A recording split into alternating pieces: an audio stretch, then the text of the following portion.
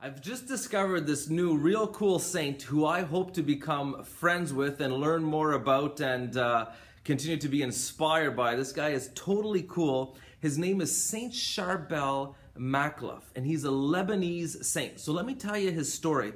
He was born in 1828 in Lebanon, and uh, as a boy, he already had a love for prayer and solitude. And he joined a monastery when he was 23 years old, and he's, he's a Maronite Catholic, so one of the Eastern Catholic churches.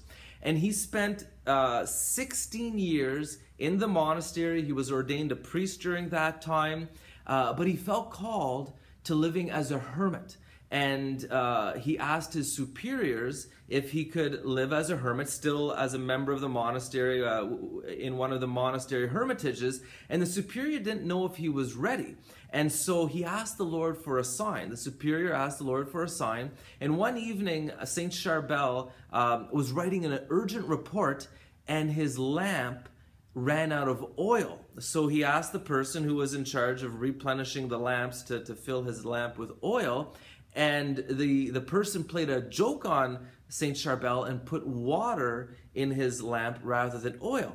And when Charbel lit his lamp, it began to, to burn brightly and it continued to burn and burn and burn.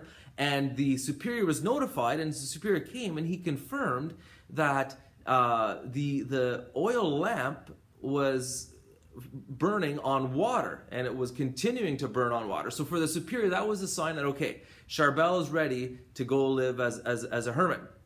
And so it says that uh, he, as a hermit, he lived an extremely hard life full of mortifications. He endured fatigue, hunger, poverty, and cold with the courage of a martyr.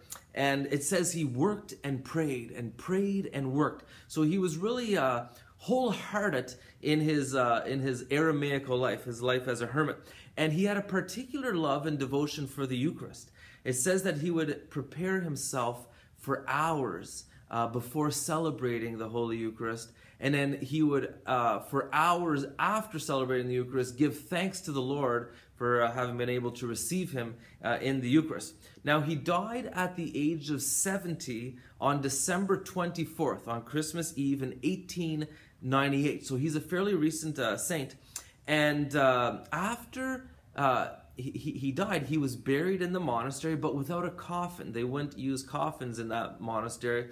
And it says that for 45 nights after he was buried, there was a glow over his tomb. And this was witnessed by, by many people. And they tried to find an explanation, but they couldn't find any explanation for why there was this brilliant glow over his tomb. And they, they believed it to be miraculous. So they exhumed his body about four months after he was buried and found his body to be completely incorrupt. And not only that, but it was, uh, it was still bleeding and sweating, you know, which they had no explanation for. And um, between that time and his beatification, they exhumed his body four times, and each time they found it to be incorrupt, sweating, and bleeding, which again, uh, completely miraculous. And there's been thousands of miracles uh, attributed to Saint Charbel, including recent ones in our own time. And so they call him the second Saint Anthony of the desert and the perfume of Lebanon. So let's pray for his intercession. Uh, I want to become one of Saint Charbel's good friends. And so let's pray Saint Charbel of Makhlouf, pray for us.